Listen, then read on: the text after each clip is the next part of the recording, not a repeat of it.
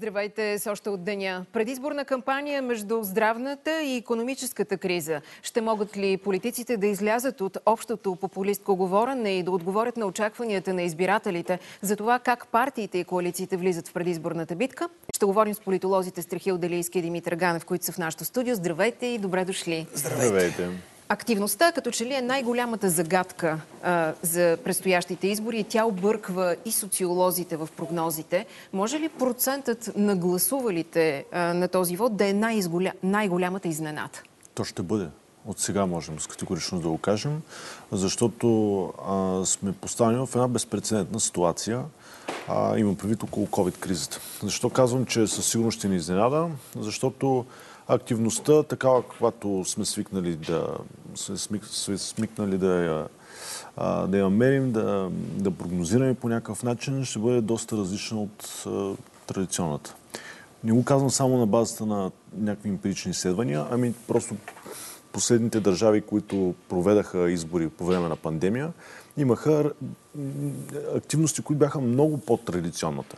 И сега от тук нататък вече ние по принцип а, сме свикнали да разсъждаваме последния начин. По-ниска активност, съответно твърдите ядра имат по-висока относителна тежест. Нали така? Така е. Но това може да не се окаже точно така, защото ние не можем да кажем дали пък тези твърди ядра, част от тях няма да се притесняват повече от COVID-кризата, отколкото други. И да видим защото, други ядра, които ще определят ясно, други резултати. Ясно по проучвания се вижда, че хората, които се притесняват от заразата, са а, тези, които са най-вече в рискова група. А именно тези, които са на 65 години. Това означава ли... Гласуват най-много. А по принцип това са твърди избиратели, които сме свикнали да разсъждаваме за тях като твърди избиратели на, на една определена политическа сила. Има предвид БСП. И ето виждате, че а, тази безпредседентна ситуация, свързана с COVID, а, ни, поставя в, а, ни поставя едни въпроси, на които ние много трудно може да дадем отговор по проста причина, че никога не сме правили изследвания а, и съответно не сме правили такъв тип момент на снимка или някакъв опит за прогноза, или не може да се опрем дори на, на предишен наш опит, защото нямаме такъв. Не чуваме обаче от политическите партии, конкретно от БСП, а, такава заявка за да се ускори плана за вакциниране, за да може да се избегне точно този риск. Като че ли а, здравните мерки и економическите мерки се разглеждат само в посока загуба на работни места, недобре планирани здравни мерки, но в никакъв случай не се коментират в посока избори и достъпност до изборите. Не виждате Това ли... е голям проблем. Да. Между другото, ние традиционно в България имаме проблем с представата за а, честността на изборния процес. По с основание или без основание е съвсем друг въпрос, но това е критично изобщо за, за усещането, че изборите произвеждат легитимен политически резултат. И като сложим тази традиционна критично отношение към начина по който се правят изборите като контекст и добавим всички от тези неясноти, за които вие говорите. Здравни протоколи, не знам какво, не знам що, какво ли още не. Машини. Машини. А, то в един момент се оказва в ситуация, в която технологичната страна на изборния процес може да се окаже много по-важна и много по-решаваща за легитимността на целия изборен процес от всичко останало. Под всичко останало какво имам предвид? Послани и програма на политически партии работа с, някаква, някаква така, в контекста на, на, на епидемията, работа с избиратели, връзките между партии и избиратели. А, всичко, всичко чисто, онова, чисто политическата страна на, на въпроса, сякаш ще остане, ще остане на заден план. А, като аз на този етап това, което виждам и което мога да, да, така да с инструментите на анализа да провидя е, че ние сме в навечерието на едни избори, които, както и да завършат, ще породат много повече проблеми, отколкото ще решат. Аз само в продължение на това, което господин Дилиски казва. А, и машини, а, и COVID ситуация, и ниска избирателна активност могат да не доведат до ситуация, в която, понеже ще имаме някаква форма на изненада на вота, това може да бъдем сигурни заради тази ниска активност, която не можем да предвидим как ще се отрази, коя партия ще спечели, коя партия ще загуби, не може да го предвидим със сигурност. То може да се окаже в ситуация, в която на загубилите играчи ще е много по-изгодно да успорят изборите. И ще намерят, и ще намерят и достатъчно основания за това в общественото мнение. Точно така. И не само. Когато имате ниска избирателна активност, към тези, към тези а, проблеми с легитимността на изборния процес, които а, Страхил избори, добавяме тази ниска избирателна активност, която още веднъж ерозира легитимността в изборите. Тоест, нали казвате, ами те, те много малко хора излязаха, съответно ето тази технология, за, кои, за която говори Делийски, а, има по-висока относителна тежест. И тогава аргументите могат да бъдат много по-силно чути от хората и да създадем истински проблем. И той да бъде просто определена част от хората да ни признаят тези избори. Или те да бъдат успорени и то много по-тежко успорени от 17-14 година, когато на всеки избор има успорване. Само една бърза бележка. Може би е, е време и, и, и да достигнем и това дъно на, на политическия ни процес. Наистина, аз го казвам с усмивка, но Болийската ни система е в такова трагично състояние. Ние от време на време пускаме покрай нас да минат някакви а, нюанси на... Абе, не е толкова зле, нали така? Е, може би трябва да се, да се щупят, както е модерно да се казва, изборите като инструмент за превръщане на, на, за, за създаване на легитимна власт, за да си дадем сметка, че така политическата система повече не може да Коментарите ви звучат тревожно за политическата система, но от другата страна стои избирателя, който е взискателен, освен че дава гласа си или не го дава, воден от различни мотиви, дали страх или нежелание да гласува, но не е ли време избирателя да бъде повече чут от партиите? Той, вероятно, избирател иска на всеки избори да бъде повече чут. А, не съм убеден, че това се случва. А имайте предвид, че в крайна сметка, а, може би най-силният диалог, който протича между, между партиите и между избирателите, е в хода на тези два месеца, които текат в момента. И аз мисля, че той ще бъде много по-малко чут по простата причина, че здравните ограничения, които са наложени заради COVID-кризата, ще ограничат силно и този диалог. Тоест, ние може да очакваме на тези избори или поне преди тях много по-малко разговор между партиите и между гражданите, именно поради тази причина. Защото традиционната, парти... традиционната предизборна кампания какво представлява? Разпределят се всеки според района си, обикалят, правят срещи по населени места, малки, големи.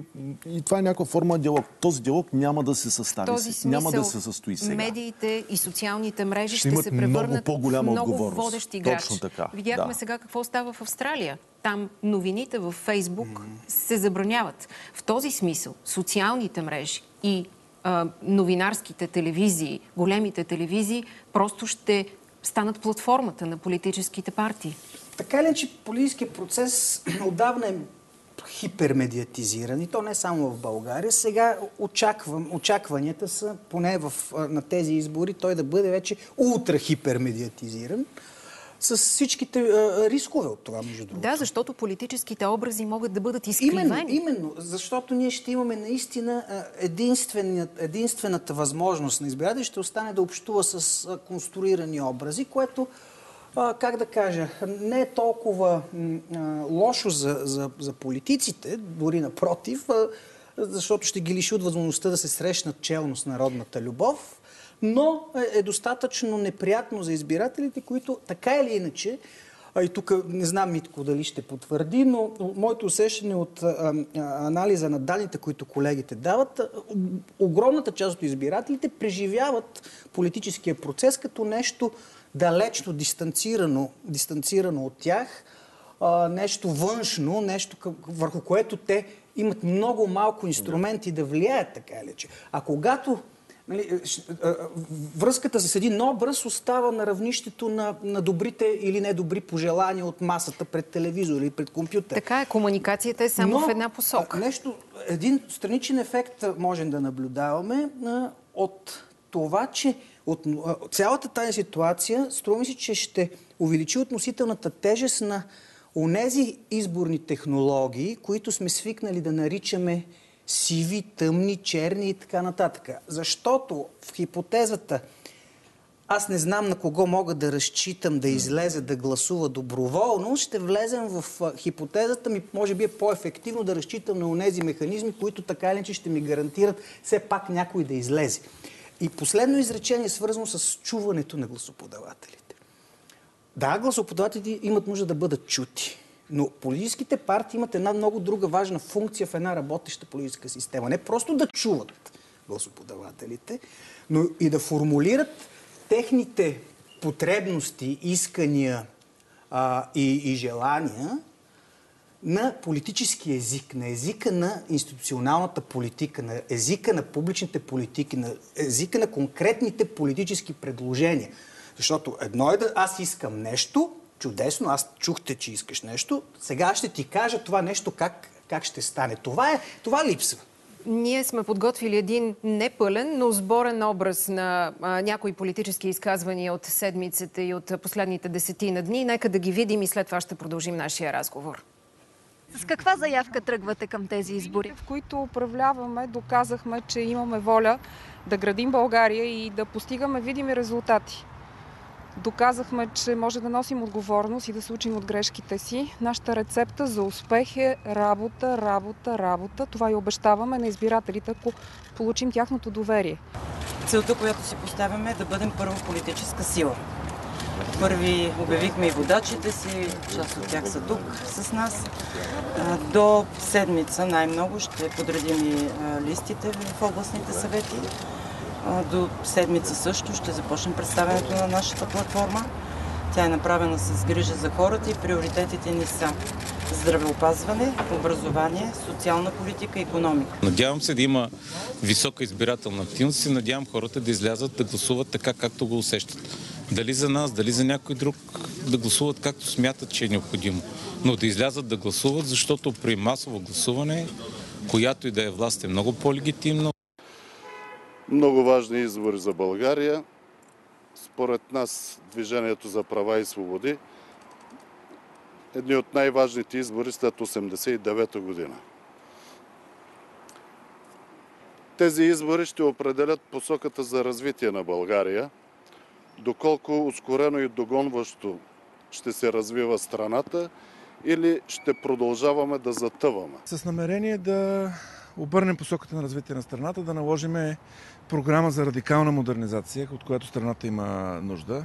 Разбира се, това включва нашите приоритети като съдебна реформа, електронно управление и отстраняване от властта на ГЕРБ, Бойко Борисов, ДПС, Делян Певски, Доган. Няма по никакъв начин да подкрепяме правителство на ГЕРБ и на ДПС, нито ще управляваме заедно с ГЕРБ и с ДПС.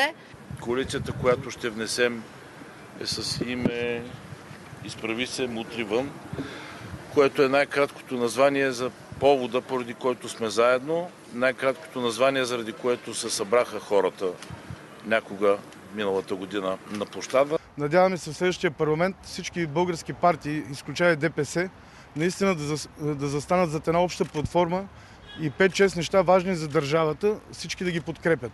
Защото това разделение, което в момента се случва в българското общество, не е полезно нито за България, нито за гражданите на България.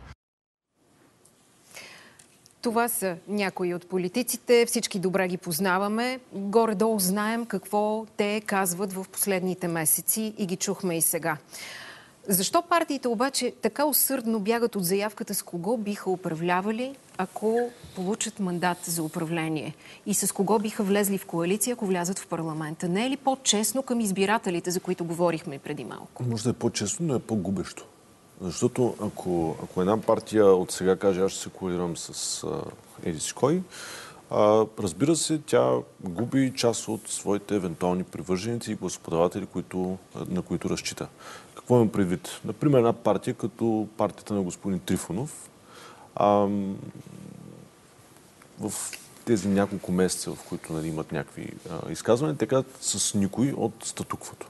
Ако те кажат евентуално с а, Борисов, с Нинова, а, те всъщност минират полето, на което в момента жънат. Защото има такъв народ, жене на полето на срещу всички, срещу статуквото, да ги изметем и така. Винаги има, винаги има обществено търсене за такъв субект. В момента лъвския пай от така наречения протестен вод отива там. И представете си какво би станало, ако той каже, аз мисля, че бих управлявал с ГЕРБ или с БСП. Това е финал на 70% от неговите потенциални избиратели. Също, също, също въжи за всеки един нов субект на терена.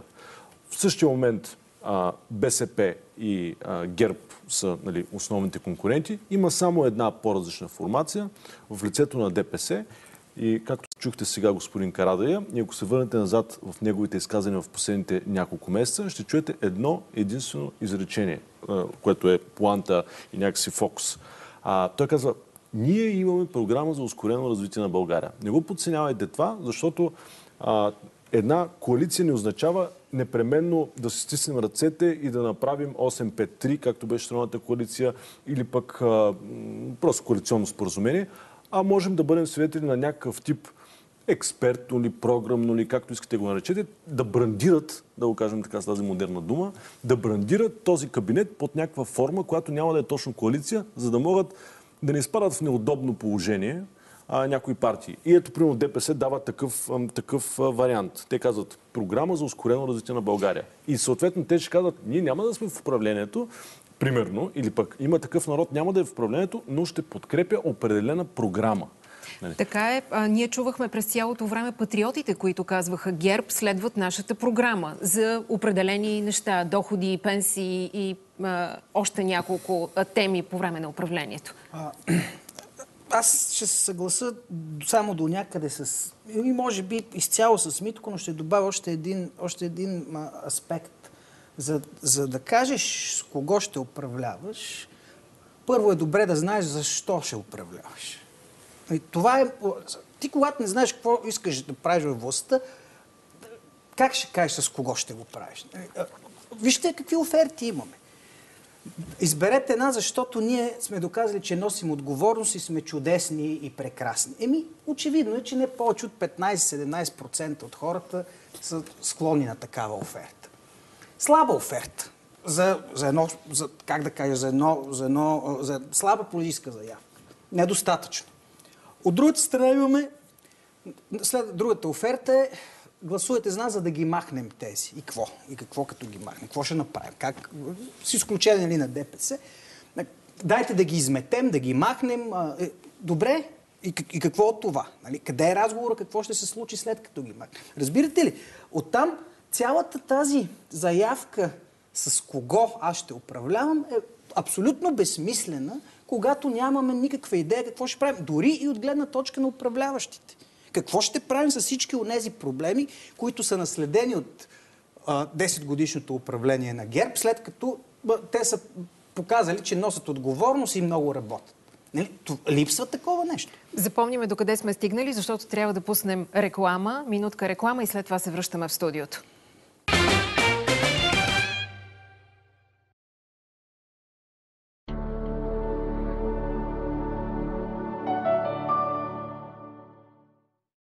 Нека подкрепим българските производители днес. Ако 6 от 100 водачи на коли в София изберат екологично придвижване с български велосипед, това ще компенсира спада в износа им за 2020 година. Твоят избор има значение.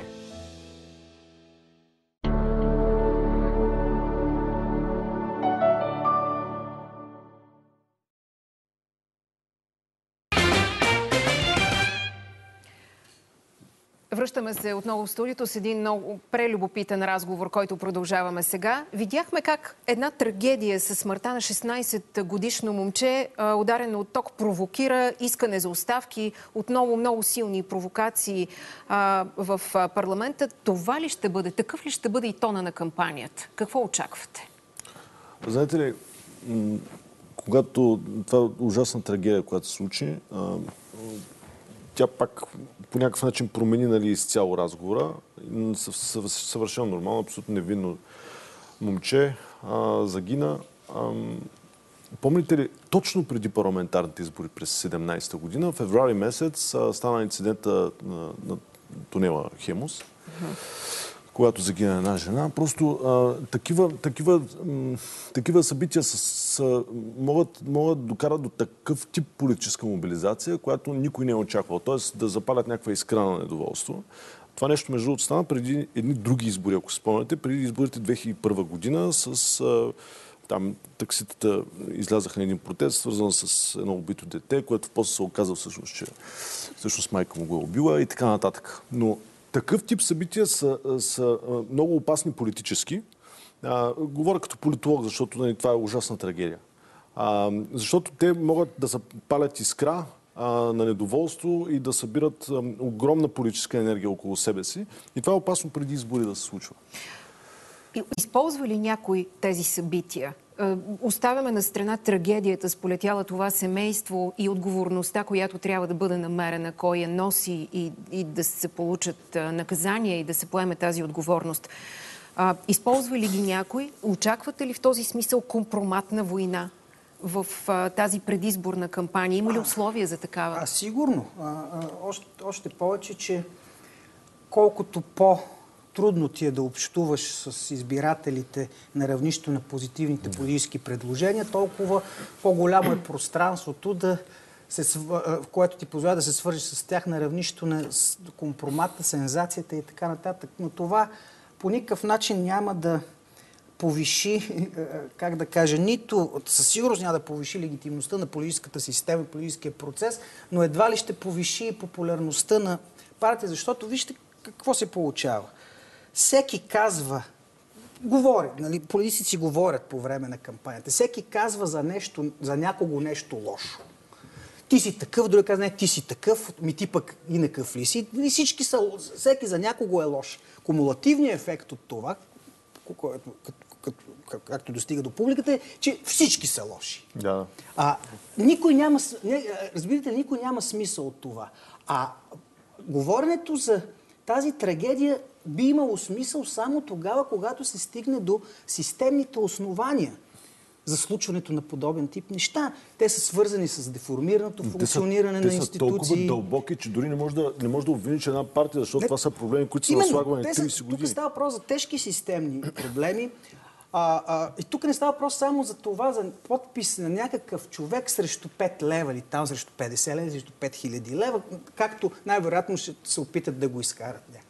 Тук става въпрос за а, а, а, отношенията между публичната власт и, и, и, и някакви хора, някакви бизнеси и така нататък. Много по-сериозно и дълбок би следвало да е разговора, ако искаме този разговор да произведе смислен резултат. Партиите декларират, че искат промяна. Те казват, ние сега ще обновим листите, ще вкараме еди колко си инженери, юристи а, и всякакви други експерти в това да могат да правят по-смислени, по-добри и по-качествени закони. Все по-често обаче чуваме в неформални разговори хора, които са наистина експерти да казват аз не искам, поканиха ме, но аз не искам да вляза в листите, защото вече не виждам смисъл по този начин да се правят тези промени. Смятате ли, че качествените хора отказват да влязат в политиката? Вижте, а, има нещо много важно, което е много важно да се разбере. А, всяка партия а, преди всичко иска да има някаква дисциплинирана парламентарна група от лоялни свои членове. Обаче в същия момент авторитета е обратно пропорционален на лоялността. Нали? Представете си, вие да сте професор в Софийския университет по право, примерно, нали? а, с авторитет сред колегите, сред академичната общност и в един момент председател на парламентарната група ви дава в ръцете някакъв закон, който е ужасно, ужасно глупав, лобистки и, и просто този човек тогава ще каже, аз няма да внеса този закон. Защото той противоречи по някакъв начин на моите принципи и аз няма, няма да си опетня името. В този момент партиите се, се е, изправят пред един много тежък проблем, че не могат да си контролират собствената група. А за тях приоритет е да контролират групата си през лоялност. И затова много, много хора се дърпат, знаейки това, и партиите кадруват на, на базата много повече на лоялността, отколкото на базата на авторитета, за да имат контрол върху своята парламентарна група, който за тях е основен.